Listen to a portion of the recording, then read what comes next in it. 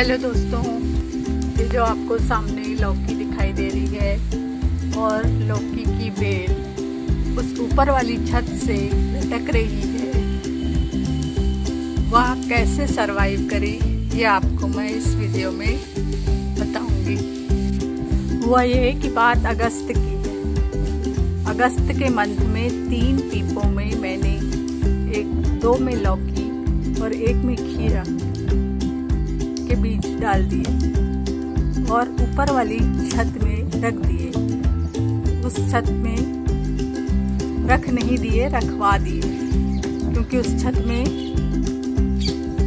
सीढ़ी नहीं है तो टेबल के ऊपर से चढ़कर जाके जाना पड़ता है।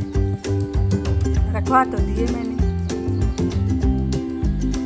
लेकिन जब तक बारिश होती रही तब तक तो ठीक था। लेकिन जैसे ही बारिश रुकी और तेज धूप पड़ने लगी तो लौकी की बेल जो बहुत अच्छी तरह से फैल रही थी थोड़ी थोड़ी सूखने लगी।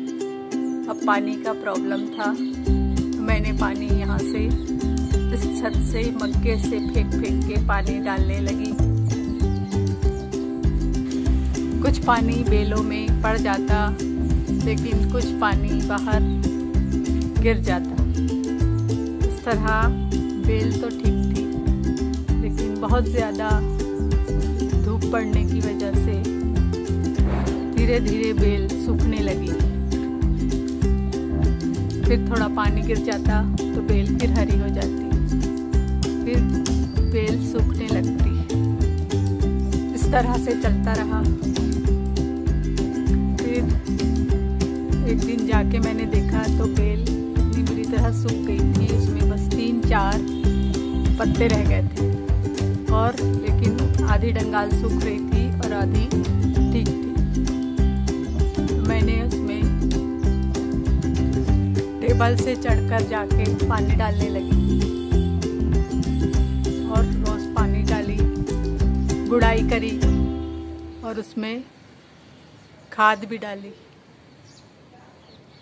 इस तरह से फिर बेल हरी होने लगी और उसमें एक दिन दो फल नज़र आए। फिर तेज़ बारिश होने लगी और मैं वहाँ जाना बंद कर दी। फिर जाके देखा तो वो दोनों फल सड़ गए। उसके बाद मैंने शहद, एक चम्मच शहद और आधा लीटर पानी लेकर उसमें छिड़काव करी। लिक्विड फर्टिलाइज़र भी डालने लगी। इस तरह मेरी बेल फिर से हरी हो गई और उसमें फिर से दो फल आ गए।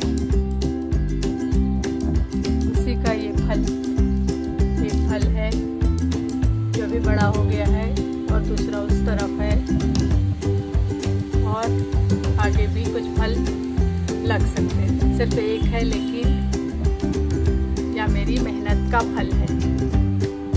अगर आप लोग को मेरा वीडियो अच्छा लगा है तो उसको लाइक कीजिए शेयर कीजिए।